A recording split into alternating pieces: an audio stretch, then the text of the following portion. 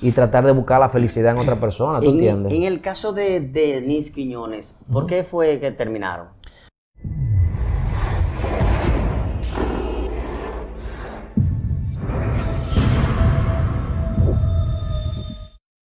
Denise y yo, honestamente, yo creo que el dinero influyó mucho.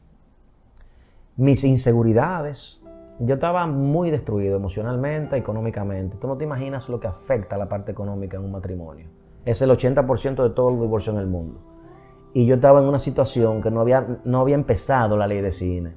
Y la ley de cine duró en el Congreso casi dos años antes de que saliera. Y yo tenía la esperanza. Y yo había sacado un apartamentico donde yo vivíamos mi primera casa y eso fue en un lapso de seis meses eh, hubo la crisis, no recuerdo si fue la del 2008, no recuerdo que fue una crisis hipotecaria, que los precios, 2008. los intereses subieron a una cosa abismal, que yo pagaba 20 mil pesos y terminaba- terminé pagando 60 por el mismo, ¿tú entiendes?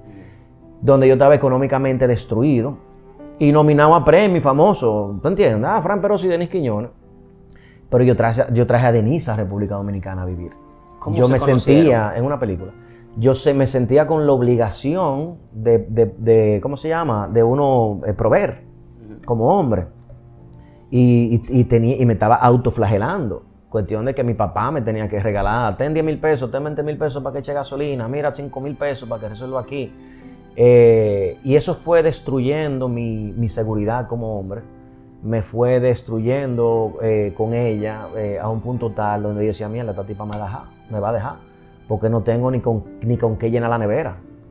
Y esa tipa estaba en, en- Puerto Rico, que había terminado una relación con René, de ca- calle 13, residente, un tipo con todos los cuartos del mundo, todo el dinero del mundo, y viene a meterse con un dominicano, actor, a dormir en una cama, en una habitación con un colchón en el piso, que ni siquiera un juego de habitación teníamos, literalmente. Y esa vaina a mí en lo personal me, en el subconsciente me iba afectando mucho como hombre porque no podía proveer y empezaron a nacer unas inseguridades del carajo. Yo creo que la parte económica empezó a flor, empezaron a florecer todas esas, vamos a decir, eh, inseguridades en mí y, esa, y empezaron a nacer esos conflictos entre parejas.